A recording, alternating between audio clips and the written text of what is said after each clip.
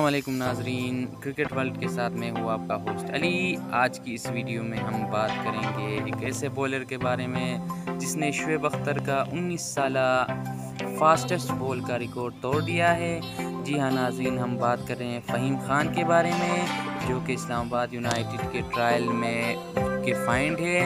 उन्होंने इस ट्रायल में एक सौ की रफ्तार से गेंद करके तमाम सेलेक्टर्स को हैरान कर दिया है अपनी पेस से, और वो इस्लामाबाद यूनाइटेड के ट्रायल में सेलेक्ट हुए हैं, और वो मुल्तान से बिलोंग करते हैं, और अपकमिंग पीएसएल में इस्लामाबाद यूनाइटेड की नुमाइंदगी करेंगे।